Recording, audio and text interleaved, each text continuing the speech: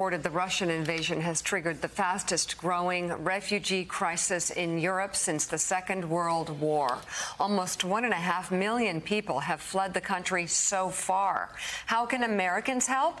Let's bring in the president and CEO of Americares, Christine Squires, and the founder and executive director of Global Empowerment Mission, Michael Capponi. Thank you both very much for being with us this morning. Christine, I'll start with you. I understand you have some some activity happening in Krakow. Explain what Americares is trying to do. Yes, thank you, Mika. So we have a small team on the ground in Poland, and we are focused on health at Americares. We know what is needed, like you heard from your previous guest, Ulya, is essential medicines and medical supplies. We have a shipment of three tons that's headed into the Ukraine right now, and we know this is just the beginning. We're also ready to deploy emergency medical teams uh, as soon as we can. And what? How are you doing with um, getting the cargo jets uh, that you know carry this much-needed uh, equipment and supplies? Medical mm-hmm. supplies are the number one ask I'm hearing out of Poland. Um, are companies helping? Do you have the jets needed? Do you have the supplies needed? Mm-hmm. We, we do have companies that are helping, but we know this is just the beginning, and we're going to need to send more supplies. We are, we've been doing this for 40 years in Americares and have seen uh, terrible situations. Um, not we're seeing it right now, and we are able to get those supplies where they need to be. So we do have people helping, and we need more help, and the global community needs needs more help. Uh, Michael, I'm hearing stories from friends of mine in the UK, and they're filling up vans and driving them to Poland. Obviously, that's not something that Americans can do because uh, th there's a huge ocean in the way. What can Americans do who want to contribute? What would be the most useful thing for them mm -hmm. to be mm-hmm. doing? Michael? Michael? Oh, yeah. So we set up here uh, in uh, Rzeszów, Poland, we set up a very large warehouse already. I've been here for 10 days with our team. So we set up a warehouse that's 40,000 square feet, and we have partnered with all the different uh, local groups, Ukrainian groups, Polish groups, even other European groups, and our U.S. Uh, partner groups. We have a large uh, warehouse in uh, Florida where we amass supplies on a, on a large scale. So we've already committed now to sending 100 containers with uh, approximately $45 million worth of supplies and that all comes to our Polish uh, headquarters now with a partnership with the former First Lady of Poland, her foundation.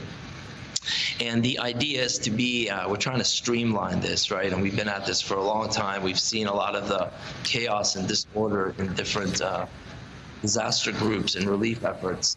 So the idea is that this supply house is where all the other orgs come and get what they need because there's everything is a different need now. If you have a church in Poland and you have 50 people sleeping on your floor, you're going to need blankets and certain things, and you may not need uh, canned foods, for example, because you're cooking for them. And in a mall where there's 30,000 people sleeping on the floor, they may need 100,000 bottles of water and they may need 100,000 blankets, right?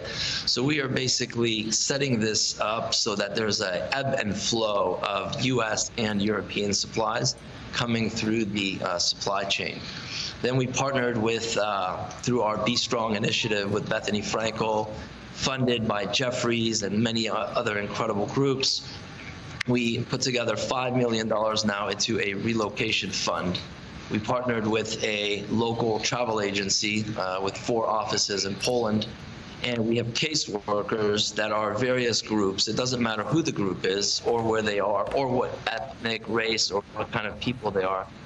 And the caseworkers collect the data. This family is from Ukraine. They need to go to Dublin, Ireland. We did that yesterday, for example. Or this family needs to go back to Africa, or this family needs to go back to Canada.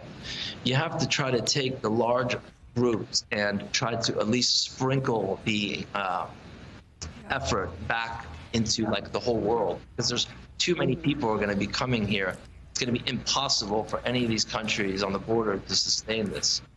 So this yeah. fund that we put together with the BStrong Fund is basically going to pay the travel agency, which is processing all of these uh, families. So we we have done about 300 uh, families so far, and we expect to do you know 10,000 in the next week or two. All right, founder and executive director of Global Empowerment Mission, Michael Capponi, and the president and CEO of AmeriCares, Christine Squires, thank you both. To learn more about how to help these organizations, visit globalempowermentmission.org and americares.org. We will put this information on our website as well.